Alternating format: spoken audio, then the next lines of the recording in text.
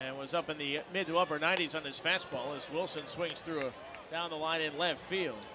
Mignetti, right-handed batter with an open stance, swing and a miss at a check swing, sliding out of yesterday. Here's the three-two, swing and a miss. So Yoendrys